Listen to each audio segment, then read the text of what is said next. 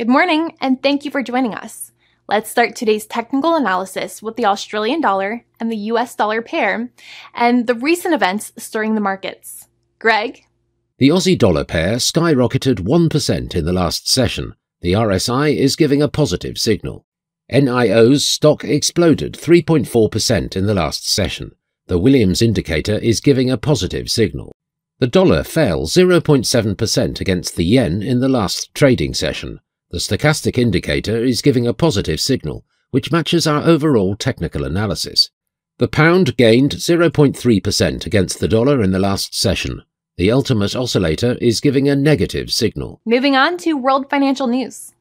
The euro briefly rebounded back above parity with the dollar as the US currency's recent rally ran out of steam and investors waited to see whether Federal Reserve Chair Jerome Powell would sound a more hawkish tone at a symposium this week.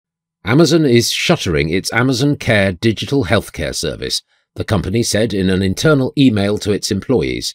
Amazon said that the service was no longer the right fit from a business standpoint.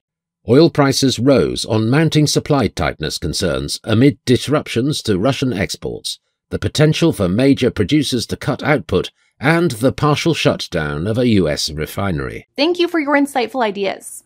And now, let's review today's major economic events. The US personal income will be released at 12:30 GMT. The US personal spending at 12:30 GMT. Germany's GfK Consumer Confidence Survey at 0600 hours GMT. The French consumer confidence will be released at 0645 GMT. Japan's CFTC JPY-NC net positions at 1930 GMT. The UK's CFTC GBP-NC net positions at 1930 GMT.